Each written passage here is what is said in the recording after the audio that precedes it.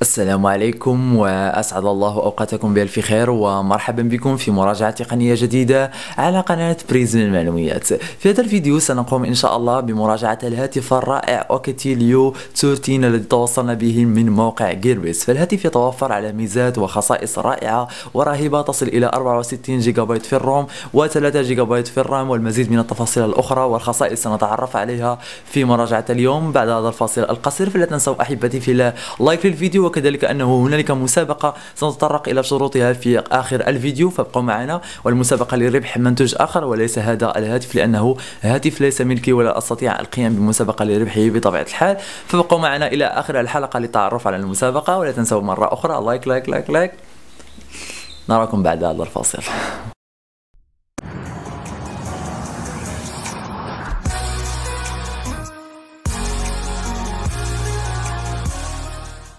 إذا أحبتي في هذا هو هاتف OUKITEL U13 الذي يتوفر على شاشة تصل إلى 5.5 إنش بينما يتوفر على خصائص ومميزات رائعة ورهيبة من بينها أنه يتوفر على مستشعر الأصبع كما تشاهدون أحبتي في الله وكذلك أنه يتوفر على فلاش بالإضافة إلى يعني مخرج ال SIM card أو مدخل ال SIM card يمكنك تركيب اثنان SIM card في الهاتف بطبيعة الحال كذلك أنه يتوفر على مكبر الصوت هنا في الأسفل كما تلاحظون ومخرج ال USB لشحن الهاتف بطبيعة الحال.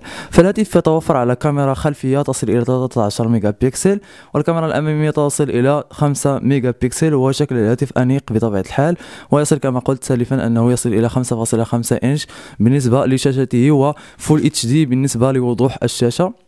فعندما سندخل إلى ال paramètres الخاص بالهاتف وندخل إلى à propos du téléphone سنجد أنه يتوفر على 64 جيجا بايت كما ستلاحظون أحبتي في الله وأنه يتوفر على نسخة أندرويد 6.0 بالإضافة أنه يتوفر على 3 جيجا بايت في ال memory أو الذاكرة العشوائية إن صح التعبير اللي هي ال RAM. كذلك يتوفر على ال size كما قلنا سالفا 5.5 إنش و 1920 على 1080 كذلك هنا كما ستلاحظون 16 ميجا بكسل في الكاميرا. هي تصل إلى 13 ميجا بكسل وهي كاميرا رائعة للغاية كما ستلاحظون. فالجودة واضحة والعيب في آه، باقي الهواتف أنها آه، ذات كاميرا أمامية ضعيفة وهذا الهاتف يتوفر على كاميرا أمامية قوية ورائعة. وكما ستلاحظون عندما سأقوم بقلب الكاميرا الكاميرا الخلفية فهي ستظهر بوضوح تام ورائع بطبيعة الحال. إذا هذا أمر جميل للغاية فالهاتف آه، صراحة أعجبني من ناحية الشكل وسمك الهاتف بطبيعة الحال وإنه لا يستقيل بالنسبة للبطارية تصل إلى 3000 ملي أمبير وهي صالحة للاستخدام بشكل جيد من ناحية الألعاب والتريجي والفرجي وما إلى ذلك من هذه الأمور. بالنسبة للهاتف يعني أنا صراحة كنت قد قمت بمراجعة OUKITEL K6000 Pro. وهو شبيه بهذا الهاتف يمكنني أن أضع لكم الرابط في ال description لكي لا أطيل عليكم في الشرح. بالنسبة للخصائص الأخرى فسنلاحظ كيف يقوم بتشغيل الفيديوهات من خلال اليوتيوب. فنقوم بالدخول لكي نلاحظ ماذا دقة الهاتف وأنه سيستحمل تشغيل الفيديوهات بشكل جيد. لاحظوا فصراحة جودة جد رائعة. فأنا أشغل الفيديو بفول اتش دي الآن. وكما ستلاحظون فالجودة فائقة. يعني الجودة ورائعة بطبيعة الحال فيمكنكم مشاهدة الأفلام والاستمتاع بأي شيء من خلال هذا الهاتف الرائع والذي سأترك لكم رابطة أسفل الفيديو للاقتناء وكذلك فهو يصل إلى 150 دولار أي ما يعادل 1500 درهم مغربية. إذا نقوم بالخروج مرة أخرى من الفيديو ثم نقوم بالدخول لكي نرى ما إذا كان الهاتف سيستحمل الألعاب أو يعني آه، كما نقول يعني البروسيسور يكون دائما ترتفع درجة حرارته عندما نقوم بلعب الألعاب فكما ستلاحظون فاللعبة هنا يعني آه، أعتذر لأنني أرى الهاتف من الكاميرا وبالتالي يصعب اللعب نوعا ما ولكن سأحاول ما أمكن أن يعني المهم يعني هذا هو الهاتف الخاص بنا فهو يتوفر على مميزات هائلة ورهيبة ورائعة.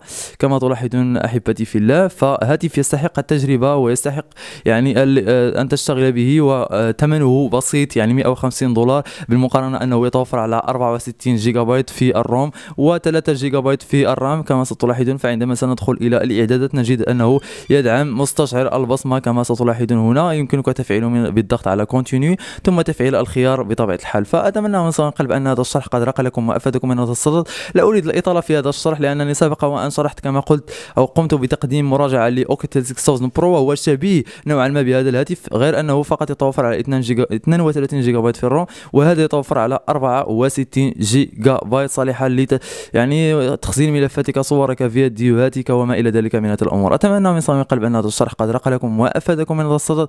دائما لا تنسوا like للفيديو subscribe لقناتنا على اليوتيوب وزيارة موقعنا الإلكتروني www.prisma.com ألقاكم إن شاء الله في مواد أخرى. والسلام عليكم ورحمة الله وبركاته. ولا تنسوا like للفيديو عدنا مجددا فالمسابقات ستكون إن شاء الله بها جائزتين. الجائزة الأولى هي عبارة عن كاميرا مراقبة سبق وأن قمت بمراجعتها على قناتي. والجائزة الثانية ستكون عبارة عن ساعه ذكيه سأقتنيها لأي شخص يفوز بالمرتبة الثانية أو الجائزة الثانية إن صح التعبير. فإن كان هنالك شخصين مثلا شخص في المغرب فاز بالجائزة الأولى وشخص في تونس فاز بالجائزة الثانية. المغرب سارسل له هذه الجائزه لانها سهلة. والثاني سأشحن له من خلال موقع GearBest أو أي موقع آه، آخر ساعة ذكية من خلال يعني العنوان الخاص به اذا آه، شروط المسابقة اولا هو أن تقوم بوضع like لهذا الفيديو. ثاني شيء هو أن تقوم بنشر هذا الفيديو أي تقوم بنسخ اليو إر إل الخاص به ثم نشره في حسابك. يعني شروط المسابقة مهمة جدا. آه، يعني ثالث شيء هو أن تقوم بوضع الإيميل الخاص بك في يعني في التعليقات. اذا فإذا فزت سأقوم بمراسلتك إن شاء الله. هذه هي شروط المسابقة. آه، لكل من يريد المشاركه إن شاء الله. وأعدكم إن شاء الله أنه ستكون هنالك مسابقه مسابقات كثيرة جدا في المستقبل. إذا كان هناك تفاعل رهيب مع هذا الفيديو إن شاء الله. آه، كما قلنا شروط المسابقة لايك للفيديو مشاركة للفيديو كذلك ووضع الإيميل الخاص بك في التعليق لأراسلك في حالة يعني قمنا بقرعة آه، للاعلان عن الفائزين بطبيعة الحال. هنالك فائزين كما قلت سلفا نتمنى حظ أوفر لجميع المشاركين وأراكم إن شاء الله في موعد آخر. والسلام عليكم ورحمة الله تعالى وبركاته. ولا تنسوا أنه نريد أن نصل إن شاء الله في هذا الشهر. نريد أن نصل إن شاء الله في هذا الشهر إلى أزيد من 60 ألف مشترك نريد أن نصل إلى هذا العدد وهذا هو المغزى من هذه المسابقات لن أغطي الشمس بالغربال كما نقول. وأقول لكم أنني أريد فقط المسابقة. أنا كذلك أريد أن أستفيد. أه لست كالباقي لكي أقول لكم أريد أن أقوم بمسابقة لتفوزوا. أنتم تفوزون بجائزة وأنا أستفيد. مشتركين جدد. أه وهذا هو الهدف. أن تصل إن شاء الله قناة بريزما إلى 60 ألف مشترك لأننا نبذل مجهود لكي نقدم مواضيع في المستوى إن شاء الله. أراكم في موعد آخر. والسلام عليكم ورحمة الله وبركاته.